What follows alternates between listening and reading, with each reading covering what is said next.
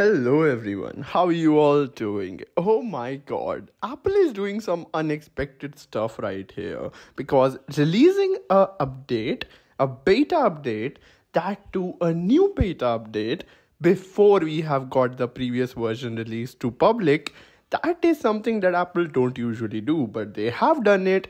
And guess what? On an unusual Wednesday, we have got iOS 18.2 beta 1 on our devices. Let's talk about it. How is it performing? And just first impressions of what is this update and why is this update here so quickly. My name is Jai. You are watching Tech Hyped. If you're new here, consider hitting that subscribe button because I am one of the first people making videos on iOS content for you guys as soon as they are out. So you don't have to miss this and have to be up to date. Let's talk about 18.2 beta 1. Alright, so the biggest thing that is new which is going to arrive on iOS 18.2 and the 18.1 as well is Apple Intelligence. We all are aware about that, right?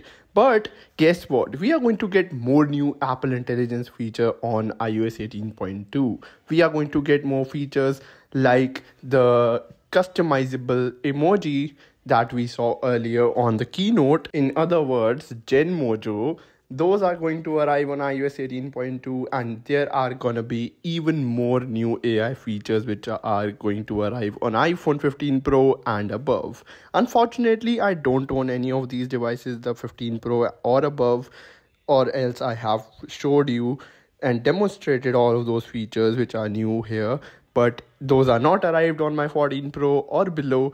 So, so sorry for that, but we are still gonna discuss and talk about these iOS 18 features regardless. Also, Apple is slowly and steadily adding more languages and more just nations in Apple Intelligence waitlist because earlier it was just exclusive for US, but now in the introduction section only when you install this update it says that it is going to be available in english uk english new zealand english ca au za us of course. So all of these countries are going to get the apple intelligence waitlist feature as well. That means basically apple intelligence features on their devices. The major the major thing which is going to arrive on 18.2 is gonna be apple ai features. That is it. Don't expect any bug fixes in big things like uh, if you are facing any battery drain or anything don't expect this update to fix any of those because only thing which is this gonna be focused on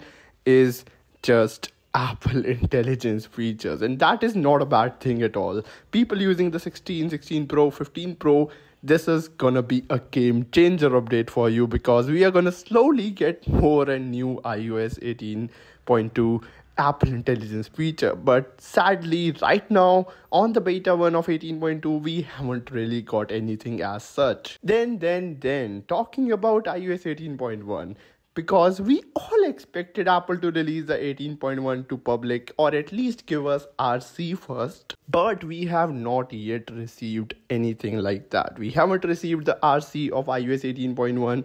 We are going to get the 18.1 to public really, really soon, but it doesn't seem like Apple is planning to release it this week. We are probably going to see iOS 18.1 arriving the RC version next week, and the following week, we are going to see it rolling down to public. Well, that's pretty much it for today's quick little episode. Thank you so much for watching this video till the end. This is me, Jai, aka Tech Hyped, and I am signing off. Peace out and have a great day, everyone.